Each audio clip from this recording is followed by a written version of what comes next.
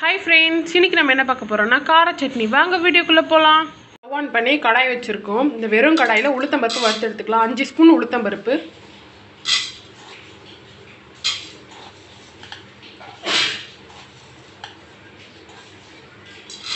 இப்போ இதை ஃப்ரை பண்ணி தனியாக எடுத்து வச்சுக்கலாம்.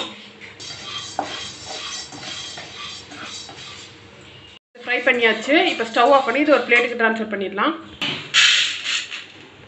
அதே கடாயில் கொஞ்சமாக எண்ணெய் ஊற்றிக்கலாம் ஸ்டவ் ஆன் பண்ணி.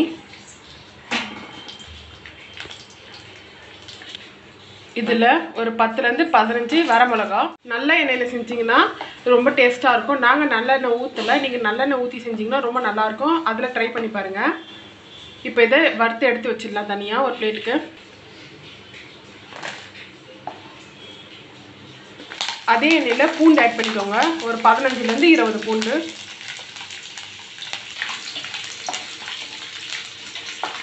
பூண்டு எடுத்துடலாம் இப்போது நாங்கள் எல்லாத்தையும் ஒரே பிளேட்டில் தான் ட்ரான்ஸ்ஃபர் பண்ணுறோம் தனித்தனியாக வைக்கணுன்றது அவசியம் இல்லை. கடைசியாக ஒன்றா தான் அரைக்க போகிறோம் அதே ஆயிலில் சின்ன வெங்காயம் உரிச்சு வச்சுருக்கதை ஆட் பண்ணிக்கலாம். ஒரு பத்துலேருந்து பதினஞ்சு சின்ன வெங்காயம். இப்போ வெங்காயத்தை நம்ம எடுத்துடலாம். வெங்காயத்தை ஒரு பிளேட்டில் ட்ரான்ஸ்ஃபர் பண்ணிக்கிறோம். ரெண்டு தக்காளி வந்து கட் பண்ணி வச்சுருக்கோம் அதை ஆட் பண்ணிக்கலாம். இந்த மாதிரி கட் பண்ணி எடுத்துக்கோங்க. நாங்கள் வந்து அதே எண்ணெயில் தான் எல்லாத்தையும் ஃப்ரை பண்ணி எடுக்கிறோம். தக்காளி போட்டுட்டு பார்த்து தக்காளி கொஞ்சம் வெடிக்கும். தக்காளி போடும்போதே பார்த்து போடுங்க. அதில் தண்ணி இருக்கிறதுனால. நீங்கள் தக்காளி வந்து நாலு துண்டாக கூட கட் பண்ணிக்கலாம். அதெல்லாம் ஒரு ப்ராப்ளமும் இல்லை. தக்காளி இருக்க தக்காளிக்கு மேலே இருக்க தோல் வந்து சுருங்கி வரணும். அப்போ வந்து நம்ம எடுத்துடலாம். இந்த பாருங்க இப்போ நம்ம தக்காளியை எடுத்துடலாம். தக்காளியும் ஒரு பிளேட்டுக்கு ட்ரான்ஸ்ஃபர் பண்ணிக்கிறோம். அதே எண்ணெயில் கொஞ்சமாக புளி ஆட் பண்ணிக்கோங்க.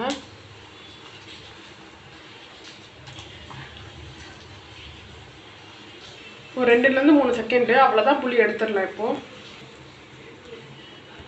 இப்போ இது எல்லாத்தையும் ஆற விட்டுருங்க. ஆறினது பிறகு நம்ம அரைச்சி எடுத்துக்கலாம். இது ஒரு மிக்சி ஜாரில் போட்டுக்கலாம்.